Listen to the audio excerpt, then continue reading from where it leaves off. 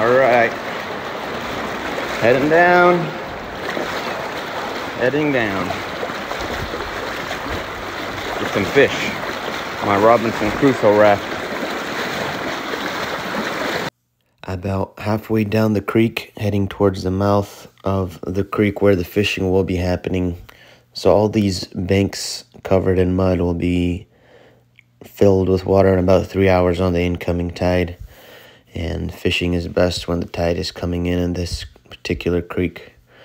Um, some of us fish from vessels, and a lot of people fish off the shore fighting this mud.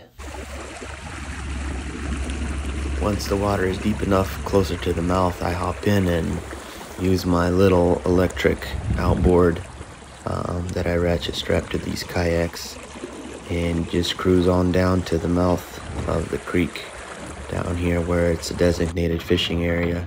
As you can see, there's bigger boats that come across the Knik Arm and everybody is congested into one small area to fish.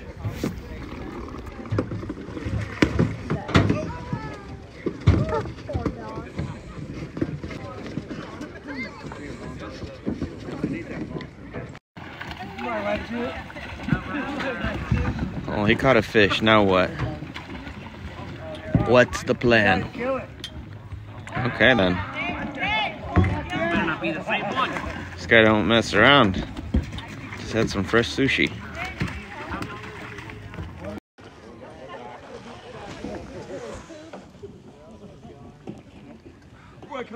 Yes, that's number two. Bam! This evening I spent two and a half hours fishing with the dip net and I caught 24 salmon.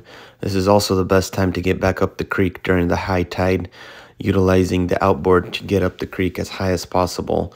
Once the water level drops further up, it's all leg work getting up. Oh yeah, leg day. Whew. That's a workout. When I finally reached the parking lot, I gut the fish right there by the water and clean them up and take them home to fillet them. At home, we fillet and process and pack them away for the freezer with the main boss making sure everything is done properly. When the fish is packaged properly, it can last up to a year in the freezer.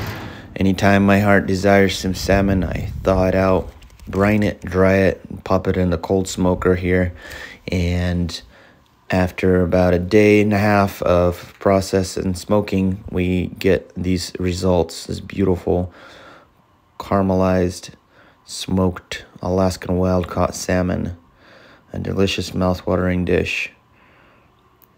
Thanks for watching, guys.